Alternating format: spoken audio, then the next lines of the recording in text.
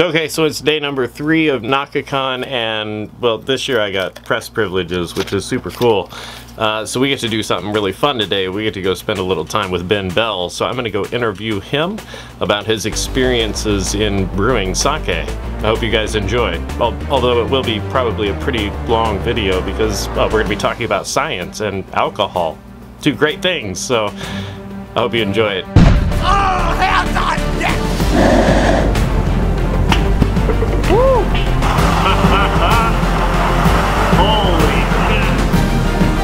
Can't believe it, dude. I've been looking for you for literally like years, man. Last G. Alright guys, what's up? I'm here with Ben Bell. Now Ben is a sake expert. You have been fermenting sake and producing it in all aspects of the of the craft for how long now? Uh, well, I worked at a sake brewery in Japan for two years, uh, better part of two years, and I started homebrewing sake about 10 years ago in my home state, Arkansas. Uh, a lot of people don't know, Arkansas is the number one rice producer in the United States. Uh, that's where it comes from. Yeah. Arkansas. Yeah, exactly. I worked in the drinks business uh, starting in 2004 and I was actually a wine expert. Uh, a wine expert. A wine. Uh, no, I was not a wine expert at all. uh, my knowledge of wine was, you know, it was where anybody's would be when you first start looking at it. You know, uh, I knew there's red wine and white wine, and that was about it. But I had to sell it, so I wanted to learn more about it. Yes. And you know, when you kind of have that like scientifically uh, tuned mind, you want to like get into all the details and you know figure out as much as you can and really understand like you know why are these things different? And that takes you on almost this like cultural journey of uh, the countries where these wines are from and learning about their food and their climate. And it, all of those things put together kind of paints a picture of the bottle the bottles that are in front of you which to me is pretty fascinating and then I wanted to learn more categories other than just wine, so I started learning spirits. And because Arkansas is the rice state, uh, sake was always kind of tumbling around in my mind, and we didn't have a lot of sake in Arkansas, right. so I didn't know much about it. But I was curious, and then that led me to traveling to like New York City and going to sake events, and then from that I started getting sake professional certifications. So I went to Tokyo and got an advanced sake professional certification. Pretty much right after that, I started my first training at a sake brewery in Japan because I was always interested in uh, production and see like you know maybe we could make sake in Arkansas. So I wanted to kind of like explore that and go as far as I could with it. And usually I was in my in whatever sake group I was in, I was one of the only people who was interested in, in doing production. So uh, uh, that led me to actually going and training at sake breweries, and I trained at one for two weeks, and that kicked my butt pretty good. And I learned all about how terrible my Japanese was. You know, when I came back from that, I knew I had to prepare the language a lot more and uh, do things to get ready for the work in the brewery, which is basically like factory work.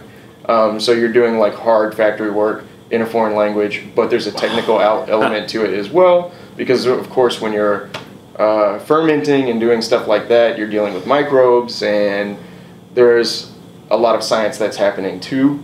Yes. And yeah, it always kind of killed me a little because I love the science part so much, but that's uh, a lot of advanced Japanese that uh, while I was working, it, it was hard the to big, get to that level. The big words, right? Like, oh, yeah. yeah. The big words that we're we struggle to learn in English. I can only imagine how difficult that. Yeah, yeah, yeah. So this that's some of that stuff is is pretty tough. You know, I feel like I got what I went there for, which was t- to really get my head around the process of making sake. And I was very lucky to work at a, one of the best commercial sake breweries in Japan. Um, in my opinion, uh, that brewery's name is Nanbu Bijin. Uh, I still you know, kind of represent them sometimes at events, and they're going to be helping me open my sake brewery in uh Arkansas. So, yeah, we have a, a, really good relationship now, and it came from kind of making that jump to yeah living in Japan and working at a sake brewery. So how long were you actually living in Japan? two years, yeah. So yeah, yeah, because it was two years and my training was two years because the only thing I went to Japan for and the only thing I've ever gone to Japan for is for sake. So Gotcha. uh, people ask me sometimes about uh, cool places to visit and things like that, and I'm like, oh, you. You would think I would know these things, but I really do not because when I was there, it was pretty much just working all the time. Yeah. So I worked six days a week, and uh, I was told by other people who've worked at sake breweries like six days a week's pretty good. They're like, "Oh, you got a day off. That's awesome."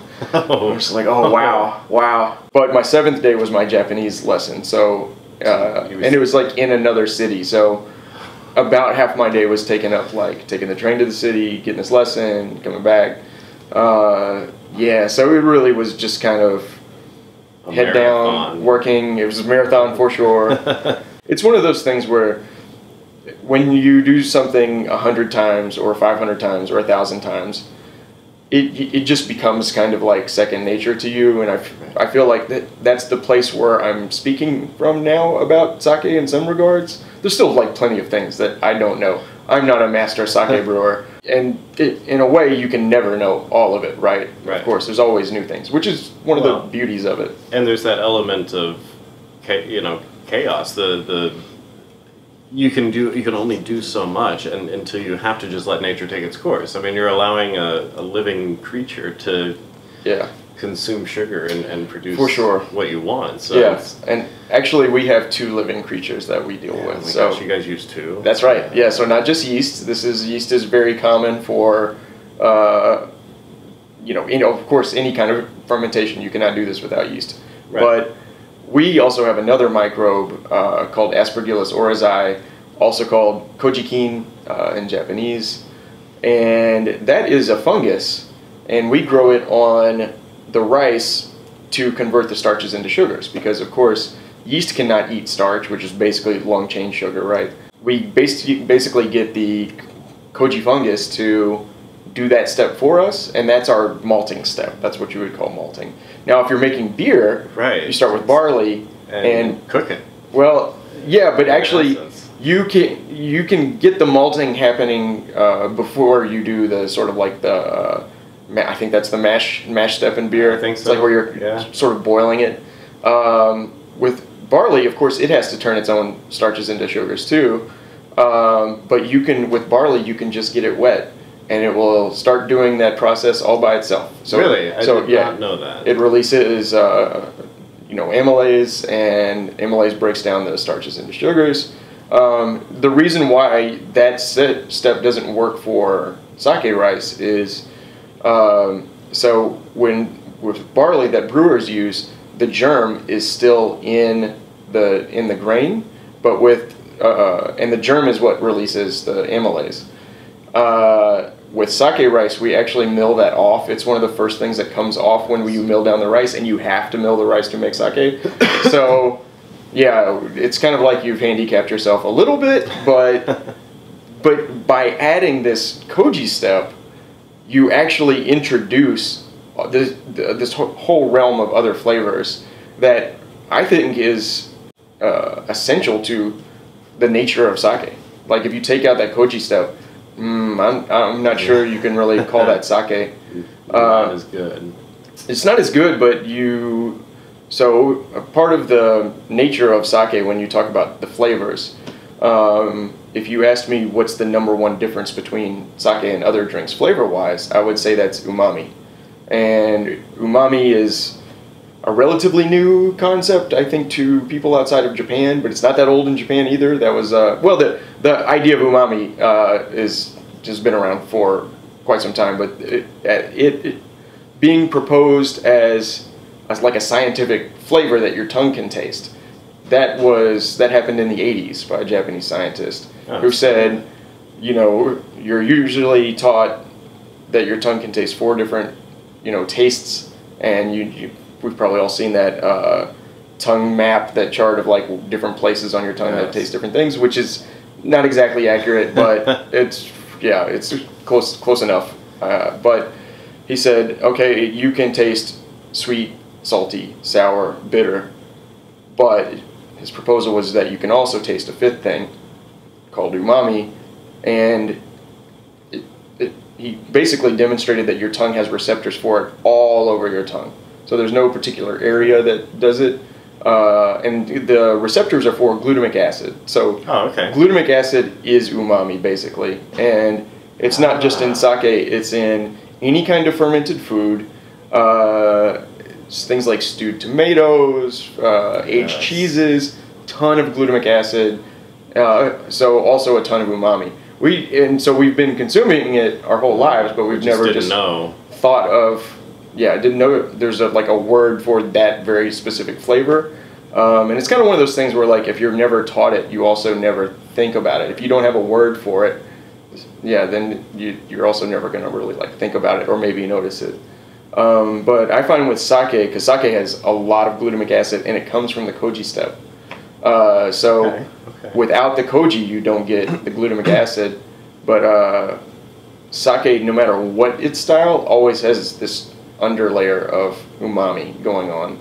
And one of the things about umami, and probably the reason why it's been overlooked and it's easy to overlook, is pure umami. Which, by the way, if anybody wants to taste uh, pure umami, uh, I recommend buying some MSG, which is perfectly safe, and uh, put that on your tongue, and then uh, maybe just for funds, uh, get the exact same amount of salt, uh, and put that on your tongue. For comparison. and you can compare how how how different the intensity of flavor is. And i think what you'll see is salt and sweet things register very strong on your palate with a very small amount.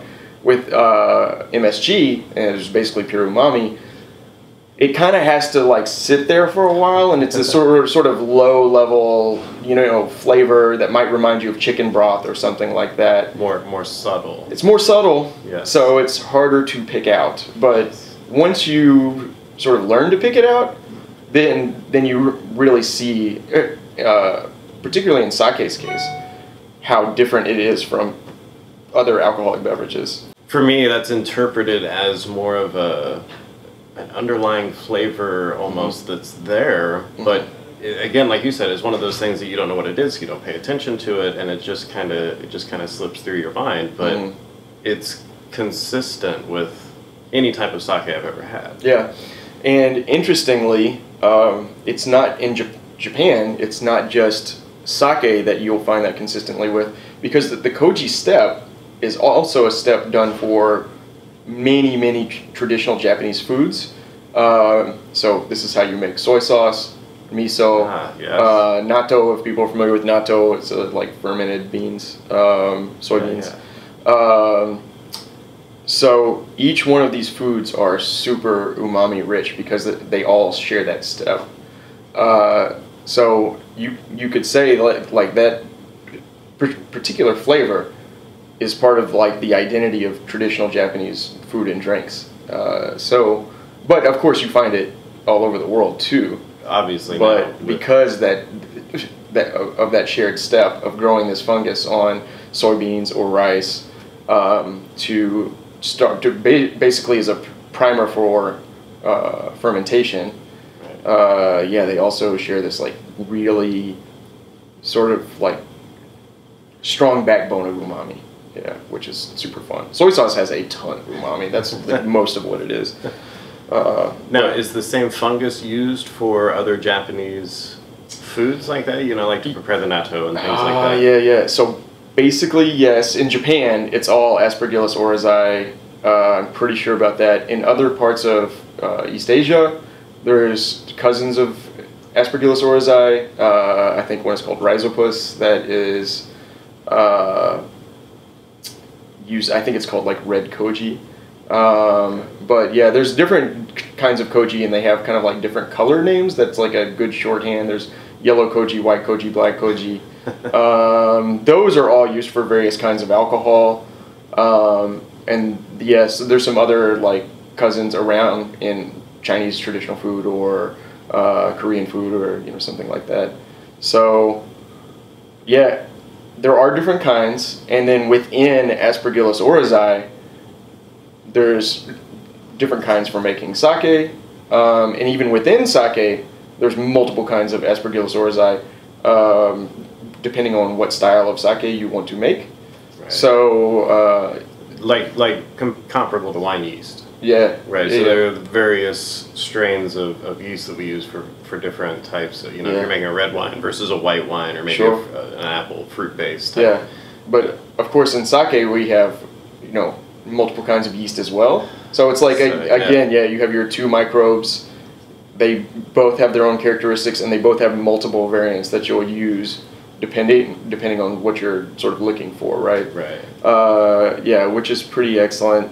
Um, one fun fact about like the Aspergillus family is someone asked me at a seminar earlier if uh, you know if, it, if that was like you know safe because because it's it's you know of course it is or you would not really like be do, doing this. Uh, I think Yeah. somebody would have noticed that uh, Aspergillus like is making people sick like very early on. Yes. Um, but some of Aspergillus's uh, some other cousins in that family are well-known producers of uh, like toxic. Uh, what do you call it? Like maybe a neurotoxin, uh, something. Yeah, Oh. something something quite dangerous. Yeah. So are these related maybe to like the ergot families of like the They you are- rye and that that type of thing? They're kind of molds. Uh, probably, probably what I have told you is like the extent of my knowledge. yeah, I was probably I, I was talking a good game right up until that that, that point. I was like, oh yeah, yeah. I get a little lost. Uh, you know, uh, uh, of course, I'm always interested in learning more about that uh, because that's pretty fascinating to me. I'm always fascinated by uh, two things that are closely related, but one is super safe and the other one is crazy dangerous. Yes. Um, but yeah, for of course for like growing it on food, uh, like Aspergillus oryzae, uh, you not only is it safe, but it adds some really wonderful things to it. And actually, one of the great things is while it's growing on the rice, you can start you can eat it, and de- depending on where it is in its growth, you you can taste the rice getting sweeter. Uh, because it is it's breaking down those starches into sugars, right? Makes so sense. by the end, it's actually like quite sweet. The rice is quite sweet and pretty tasty. I like I like tasting the the koji. I don't know if I'd make a meal out of it, but yeah, it's, it's fun. Good on occasion. Yeah. Now, is the when you when you grow the rice for using in sake, is there a particular point in that conversion that you want to harvest, or do you harvest early and then use controlled? Well, there's sake rice has some known properties that are a little different than other kinds of rice. So sake only rice, you kind of want these big grains. Um, so what that means is when you grow the rice, it can become very top heavy, and uh, if you're not careful, and some, sometimes even if you are careful, uh, like a strong wind comes through, like right before harvest, you will, yeah, all of the uh, stalks will just fall over, and then you have to harvest it off the ground, which is possible, but it's a real pain. Um, but yeah, there's some things like that that make sake rice a little different. But in terms of you know letting it reach maturity and things like that, it that's about the same for for any kind of rice. But what happens to it once you harvest, that's that's where the variances really start to come out. And one of the biggest things about sake rice and making sake is how much are you milling the rice before it it you know starts to be steamed and made into sake. So Right. uh, the so how that that pol- we, call this polishing. There's different kinds of milling. Some milling, like for barley, you just break that barley, and that's fine. You're just cracking it. Yeah. cracking it, and with rice, that's a no-no. so you do what's called polishing, where you're taking off just the outside of the grains. Slowly. And, yes. yeah, slowly, and the outsides have more fats and proteins. They give you rough flavors, maybe off flavors. And a good grain of sake rice has pure starch in the center. Sometimes you can see it. It's called a shinpaku, which means white heart. And yeah, if you have grains that ha- have shinpaku, you have some good sake rice for sure. And yeah, the idea is you want to mill, you know, ideally you want to mill all of the rough flavor things off of the outside Yes. and brew with that pure starch, and then you get this really nice, clean, pretty sake. So yeah, that's that's the the how you treat that rice uh, before it comes, even before it comes to the brewery, yeah, is super important. And how much the rice stands up to milling without cracking is one of the differentiators of good sake rice and not good sake rice. So, uh, in a way, the actual flavors that the rice will give, it, it's not as important as you would think. Uh, not as important compared to just how well does this rice stand up to milling. Right. Yeah. Now, when you guys, okay, so you, you you've harvested the rice, you've uh, you've milled the rice, you wash it at that point, Mm-hmm. um, and then hydrate it. I would assume. Needs Yeah, well, interestingly, while you're doing the washing step, the uh, your the, the rice is start, starting to take on water, so your moisture content is going up. But then you do a soaking step right after washing, and the soaking is where you get your water content really like dialed in before steaming, because that's going to affect how much water is in, in the grain is going to affect how that rice steams, Okay, and all yeah, right. so you might pick up from that that you know if this moisture content isn't right, the steaming won't be right. The steaming's not right. This will affect every other down. thing. Yeah, Yeah. so it's kind of like a snowball effect, and because of that, washing and soaking is tremendously important. Uh, and you can check your work with uh, uh, how you did by simply weighing your rice before and after, Right. and th- then you have that percentage increase of you know moisture content. So, uh, but uh, in a practical setting in a brewery, uh, you don't have time to check all of the rice that you have washed. So, you may do some checks before you start re- really doing like the full you know full batch of rice, but uh, mostly you look at it. You look at the grains, and you can see the water coming into the grain. It starts in the outside and goes towards the middle.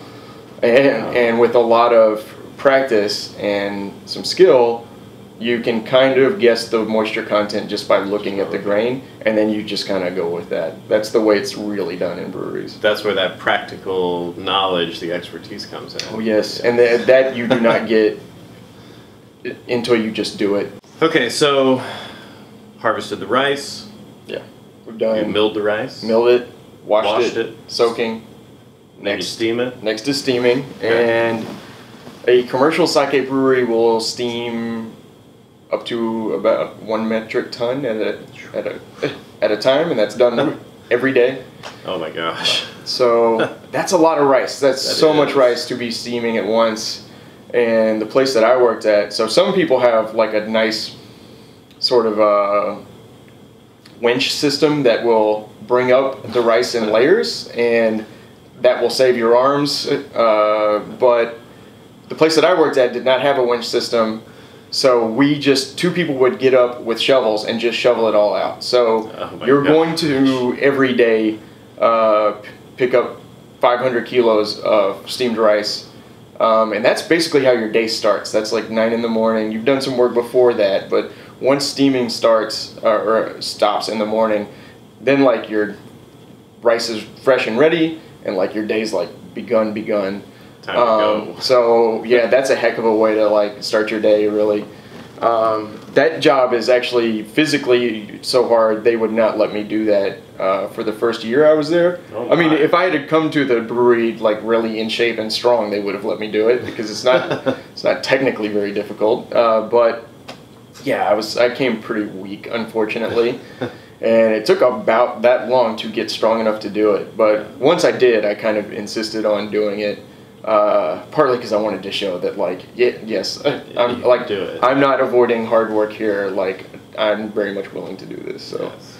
yeah, Well, they take you much more seriously and I hope so. invest more into you, you know. Like, Yeah, there's some way, ways where like if my Japanese isn't good enough to like tell you tell you you know how I feel about doing these various jobs, at the very least you know I can show you by like physically doing them doing and you know even volunteering to do it. So yeah, yeah. yeah, that was pretty important. And then once the steaming is done, now you're going to uh, uh, the rice will go up to the koji room where you uh, spr- you know uh, sprinkle the spores onto the rice, and that room is like basically a hot room, and the temperature and humidity are very tightly controlled. Right. So yeah, you make these basically perfect conditions for growing the koji kin the way that you want on the rice, and the way that you grow it uh, depends on the kind of rice, the milling rate, and the style of sake that you want to make. Right. So these are all variables into the choices that you're making in the koji room.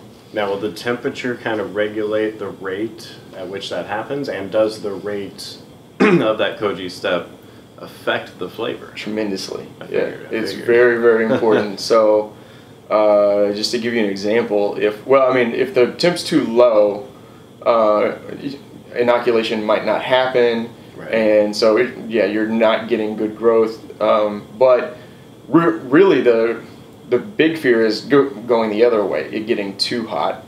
Um, once the growth really gets going, you're more regulating the temperature from a stance of con- keeping it from getting too high too fast. If it gets too high too fast, you basically have overgrowth uh, on the outside of the rice, and it's going to break down some of those leftover fats and proteins that may be on the outside, and it's going to bring a lot more of those flavors into the sake. But and this is where the temperature and humidity humidity work in conjunction with each other. If you keep the temperature from going too high and you pull back the humidity to where the fungus is not getting a lot of its humidity from the air, it will actually send its uh, its little like probeater things, mycelia, uh, into the grain seeking moisture, and once it goes further into the grain, it's it, it's Ah. get, getting to that starch center. Yeah. And it, now what is being uh, uh, broken down is more of the pure starch and less of the rough stuff on the outsides. And if you can get the koji to do, do that and do it well, that's how you make the best sake in the world. That's that's your that's your top grade So stuff. this is probably one of the most critical steps. Yes. Obviously, everything up leading up to that is is key because if you don't if you don't make it to that step with the right stuff, Yep. then you're gonna have bad results. That I think that is exactly the right way to look at it. Everything is key leading up to that, but there's a That's saying. your make it or break it point. Yeah, there's a, there's a saying uh, uh, in brew, sake breweries, which is it's Japanese, but it's ichi koji ni moto sanjikomi sanchikomi, um, which yes, that's. I'll, I'll put that. yeah. on- So first is uh, number one is growing your koji. Number two is the moto, your starter batch, and then three is your main fermentation. And it, I think if you don't know the process, you would think. Uh, well, main fermentation must be the most important part because that's when you're making when you your alcohol. alcohol, Uh, but yeah, no, of, That's- of course. Uh, That's easy. Once you've gotten to that step, you've done hopefully all of the preceding steps correctly, and then You just have to let really, it's take its you, course. you. I mean, of course, you you know you're ch- you're checking on your batches and you have some stuff to do there, but yeah, maintaining temperature. I, I I would venture to say you've already done the hard most of the hard work. Yeah. So it's pretty pretty important. And then, so I mentioned doing a starter batch. Uh, that's kind of the next step where once the koji is grown, it takes about 48 hours to, to grow that. Uh, you that goes to a small room with some small tanks, uh, and that goes in with water, yeah, your malted rice, your koji, steam, some more steamed rice, because the koji is made enough amylase. Uh, the amyl- uh, the amylase breaks down the starches into sugars, right? Um, koji is actually made enough amylase to not only break down the rice that it's growing on, but also break down more steamed rice. So Okay. yeah, you can add in more steamed rice, and that will still get bro- broken down into sugars for the yeast to eat. Uh, so you do that every time you add uh, koji to a tank. You're also adding steamed rice, unless you're making a style called all koji, which is yeah, Oh. not, yeah, not a regular Right. kind of style of sake, but you know, very interesting one. um, the brewery I worked at actually made fantastic all koji uh, sake, but yeah, uh, you, you this is the batch that's going to the small tanks are are, are basically going to kick off fermentation, but uh, you add at that point you add your yeast and really what you want for the starter batch is for the yeast to uh, multiply. And this is going to be like the main grow- growth phase for the yeast. And then Right. by the time you put that starter batch into a big tank, the yeast there's enough yeast cells to just like get right to work doing fermentation. They're not spending energy on replicating. Replicating, yeah. Yeah. Uh, so also another very important step, right? Yeah, they're all important. So this is this is you could almost equate that to like proofing your yeast before you bake a loaf of bread.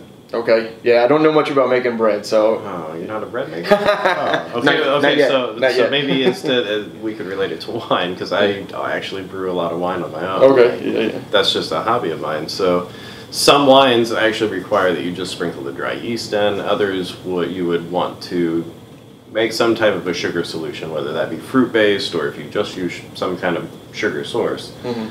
And you put your yeast into that, allow it to sit overnight. That will allow the yeast to sort of get that process rolling where it does most of the replication before you add it to your batch of, of mash or wine, whatever you want to call it. So this is kind of similar, it seems, to proofing your yeast. I guess. Yeah, It's yeah. Relatable. maybe. For sure. Yeah. So uh, very another very important step, and then once you're done with that. By the way, the aromas from the starter batch are so good uh, because that ye- yeast is there's a lot of yeast compared to how much you know sort of mash that you have right there. So so if you have yeast that gives really sort of fruity aromas, fruity floral aromas, the whole uh, starter batch room smells like that, and it's so nice. It's uh, one of my favorite things. Um, main fermentation room smells great too, Yes. but the starter batch room is That's just the at. best aromas. Yes, I, I think. yeah, and then of course from there, you go, uh, you put your starter batch into a larger tank, and you add more water, more koji, more, more steamed rice, and you actually do that uh, two more times. Uh, it's like a three-step process. The total process of yeah, building up to to your your you know big full batch.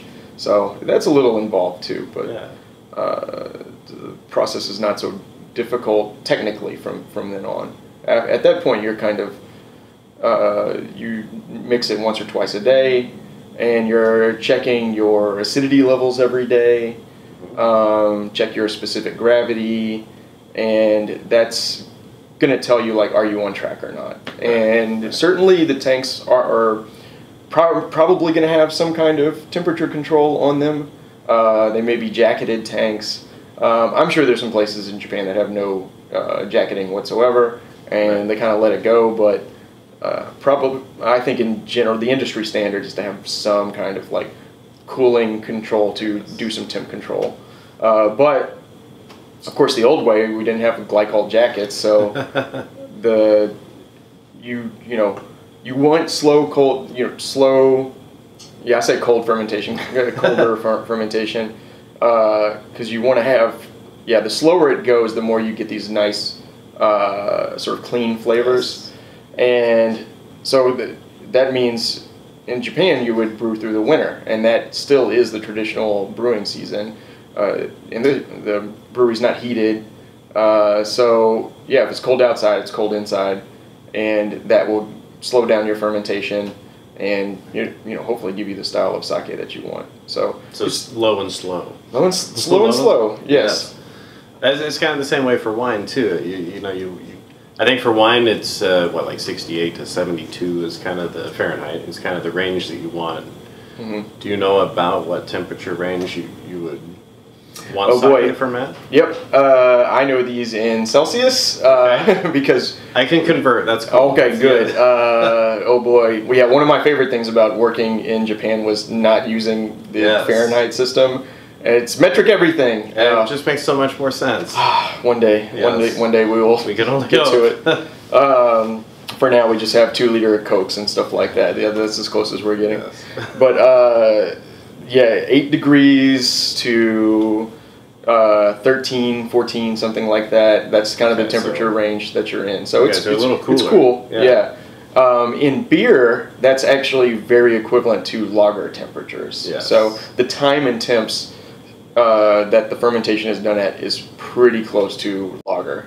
So for beer people, I just say you know lager temps, and even though I don't know what it is in Fahrenheit, like they do, so yes. And I'll put like right here, so you know, what'd you say, eight to eighteen? Uh, eight to eight to 13, 14, Eight to something like that. I'm sure there's Yes. people that go maybe higher, and uh, that's like, yeah, it, every brewery is a little different in some ways. There's a saying in Japanese that the Ban Ryu, which is ten thousand ways, they say there's ten thousand ways of making sake, which really means there's an endless number of ways. Uh, so.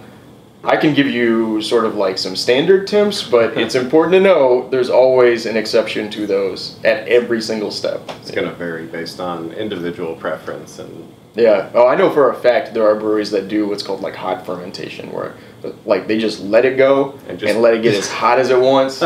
and yeah, like I've never had those breweries sake, but I hear it is quite good. So that's actually something uh, you know.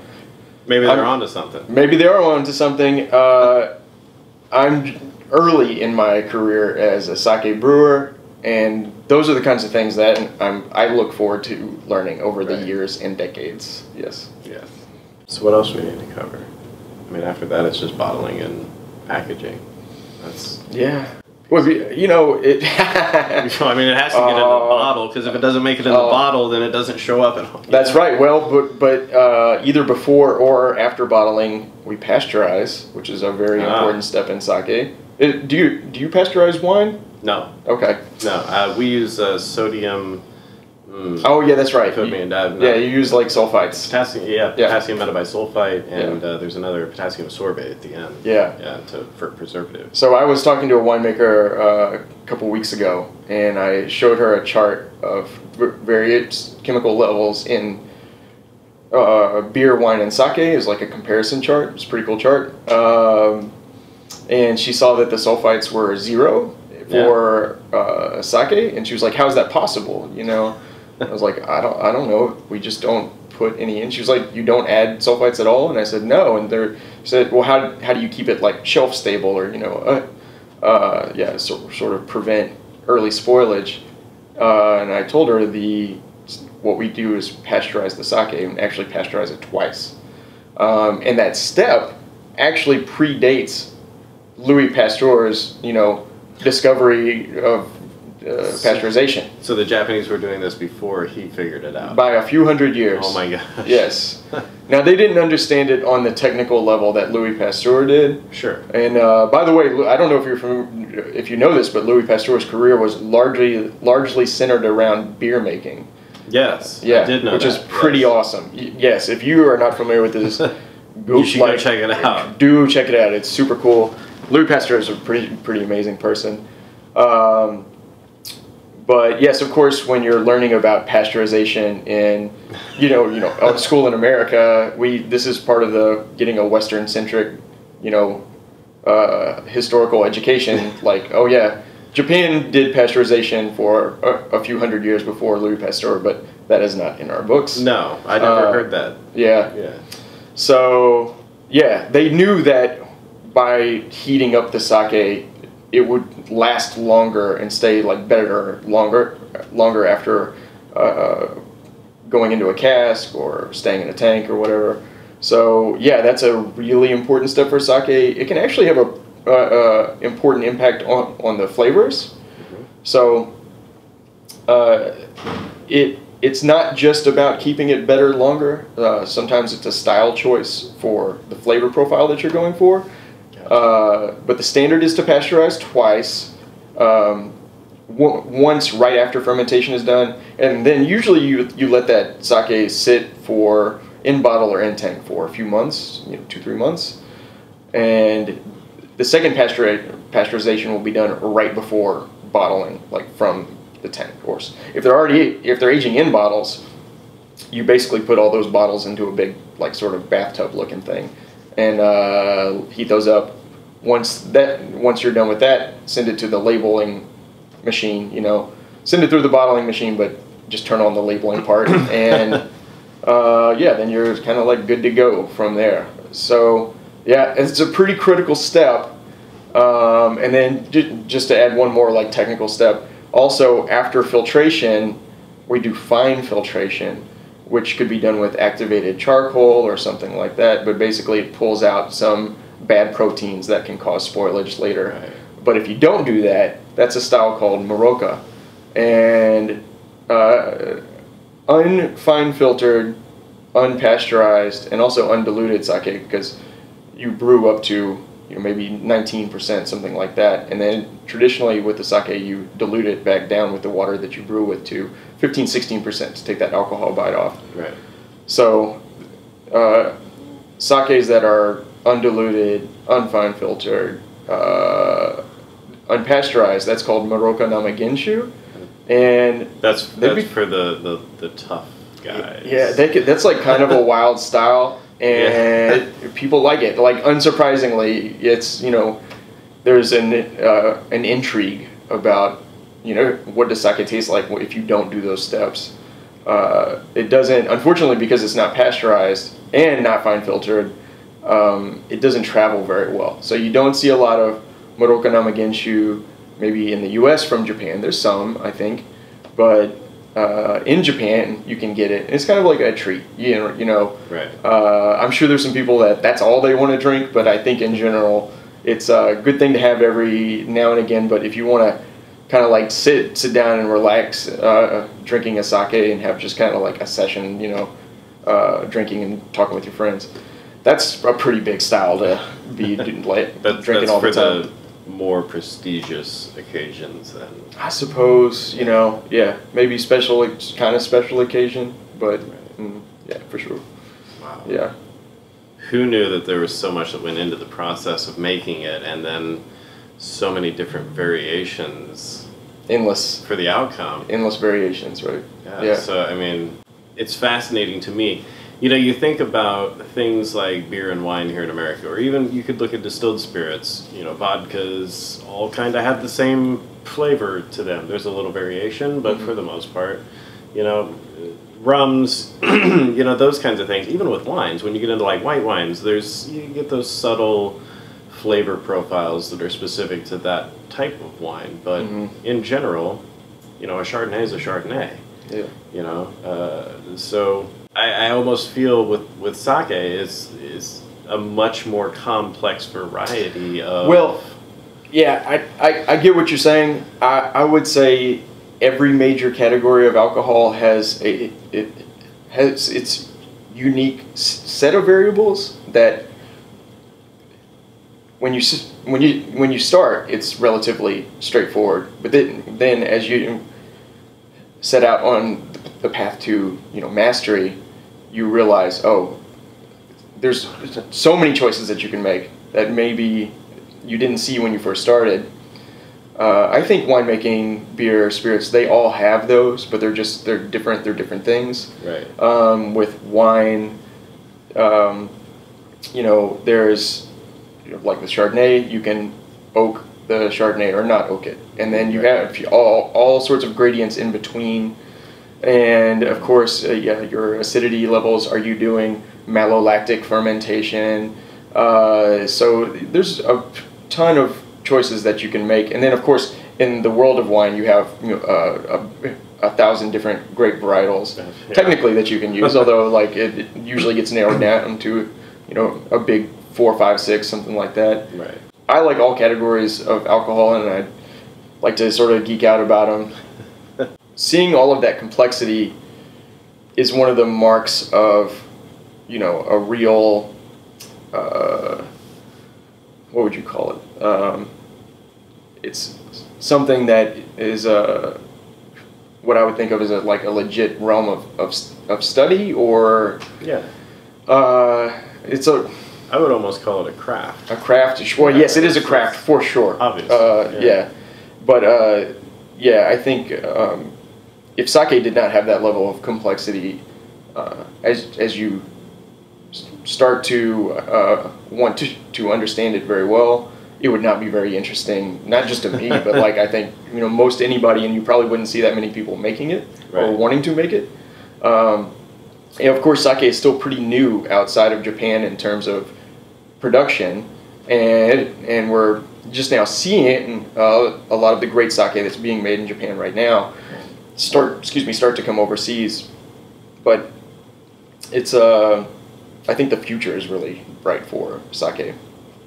Yeah, yeah. So I expect it to grow worldwide, and of course I want to be a part of that. So Heck yes. yeah, that's pa- part of the reason why I'm here uh, at Naka-Kon doing you know sake seminars and you know spreading the good word about sake, right? Yes. Mhm.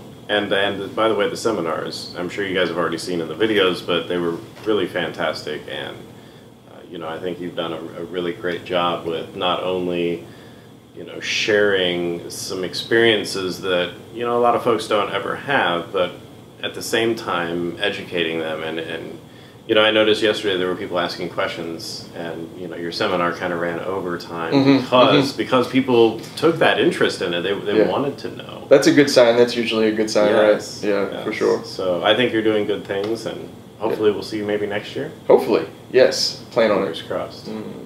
Yes. All right, Ben, I appreciate it. Yeah, thank you. Uh, you know, anytime we can talk about alcohol is a good time.